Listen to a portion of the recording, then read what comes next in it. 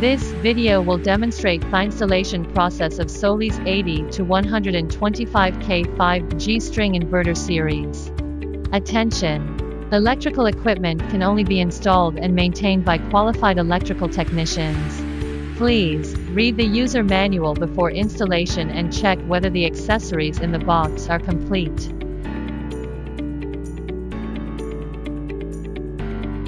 More than 500 mm space shall be reserved around the inverter. After determining the installation position of the mounting bracket, use the fixing bolts included in the box to fix the mounting bracket to the mounting frame.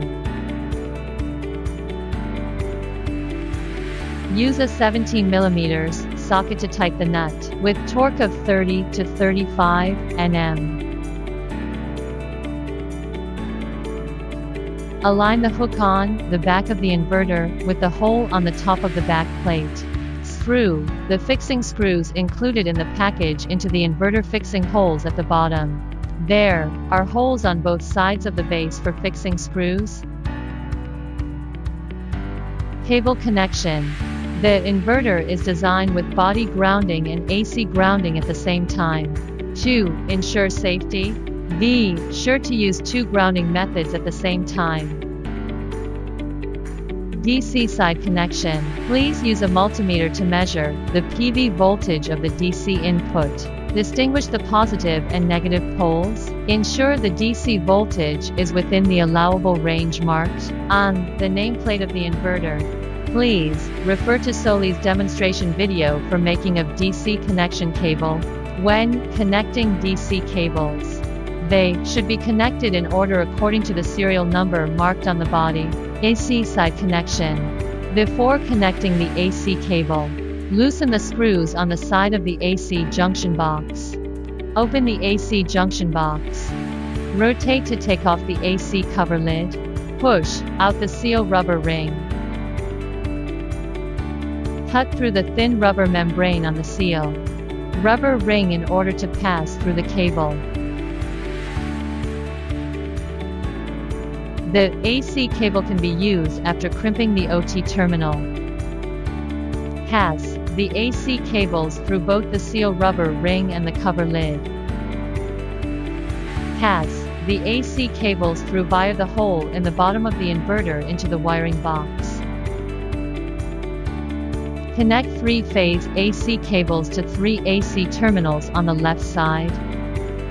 Connect the neutral cable to the terminal marked by N. Connect P cable to PE terminal.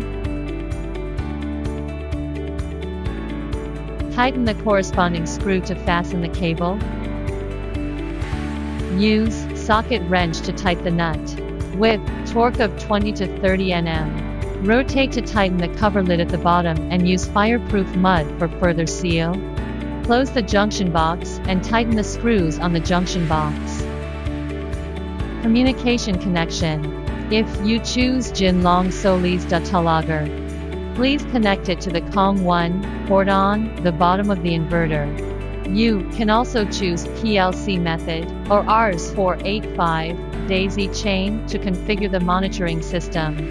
For RS485 communication connection, the communication wire needs to be passed through COM2 to COM5 into wiring box. Open the wiring box. Then remove the connecting terminal block from the communication board in the wiring box. Insert communication wire into the connecting terminal block and tighten the screw.